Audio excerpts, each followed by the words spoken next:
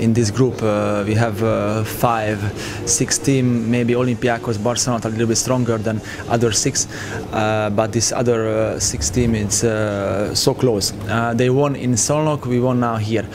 Uh, our team was complete first as Thursday night, and after uh, we did uh, nothing special, some shooting, a little bit man up, man down. Friday we have only easy trainings because all who, who, who were in.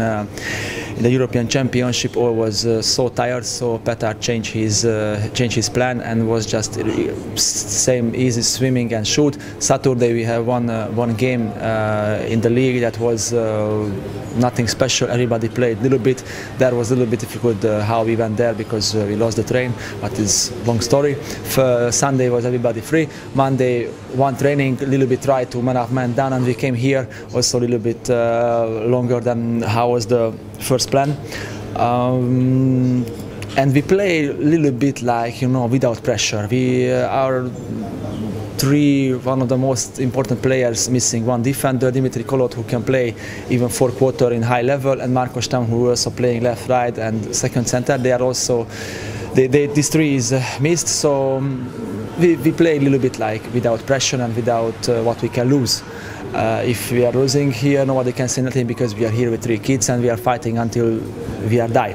So we fight until die, and uh, um, I saw the son of players. Uh, the most important players was maybe in the difficult moment a little bit tired. I I think these players, maybe Duško Pijetlović, who was uh, I saw him, he was uh, uh, tired, but Victor was uh, great. He saved really well. Uh, that was a big surprise for me. So we played played in this level and we won the, this game.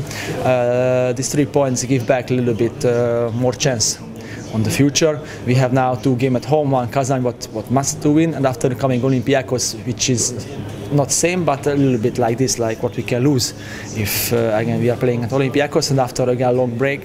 So we are trying now. We try to make some uh, refresh training. We play Sunday one more game. And after uh, national teams players, the German will leave. They want, they will go to training camp. Uh, we are, we are work.